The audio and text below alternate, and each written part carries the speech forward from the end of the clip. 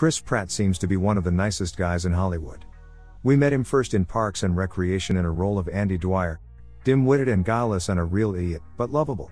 And his role as Star Lord in Marvel's Guardians of the Galaxy made him an A list box office draw.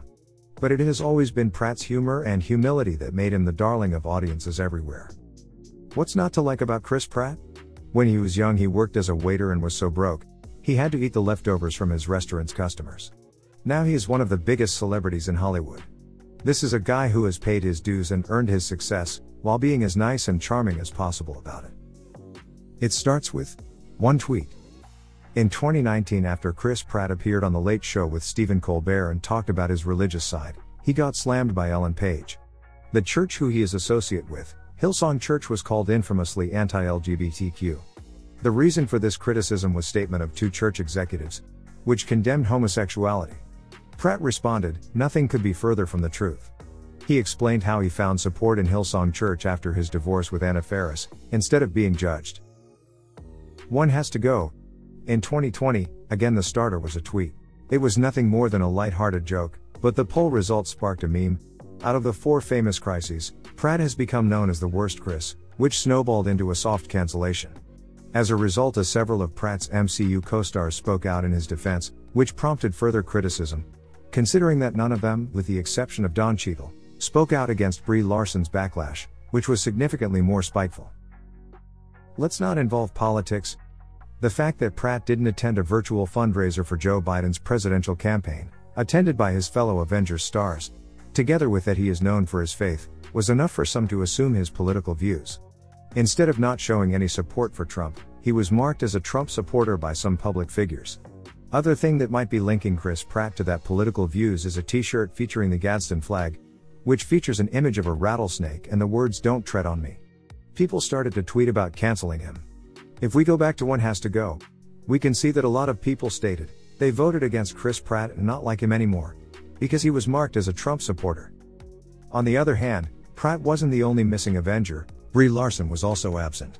Back in 2012, CNN reported that Chris Pratt donated money to Barack Obama's campaign. I don't feel represented by either side, he told Men's Fitness magazine in 2017.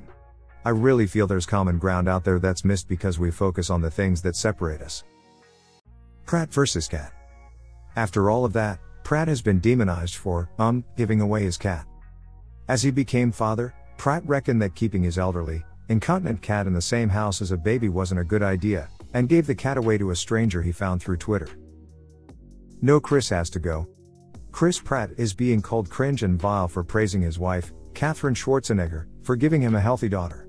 On Thursday, Pratt, 42, decided to write his wife a birthday tribute post, to share their happiness with the world.